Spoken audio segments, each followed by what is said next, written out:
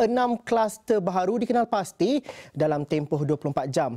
Menurut Ketua Pengarah Kesihatan, semua kluster ini dikenal pasti di Sabah, Selangor, Negeri Sembilan, Negeri Sembilan, wilayah Persekutuan Kuala Lumpur dan juga Putrajaya. Kluster baru ini melibatkan sebuah penjara di daerah Sandakan Negeri Sabah iaitu kluster penjara Sandakan.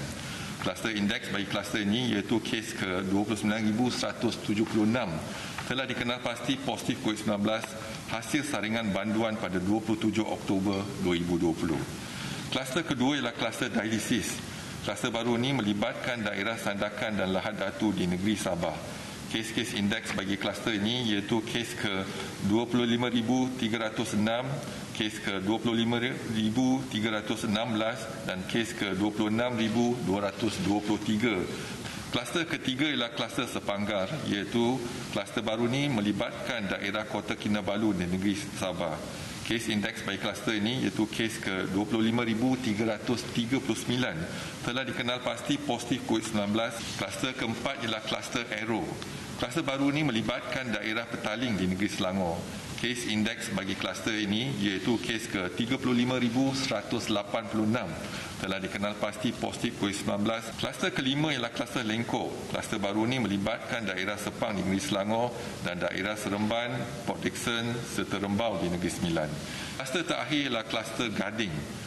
Kluster baru ini melibatkan wilayah Persekutuan Putrajaya dan daerah Seremban di negeri Sembilan. Kes indeks bagi kluster ini iaitu kes ke 30,090 telah dikenal pasti positif COVID-19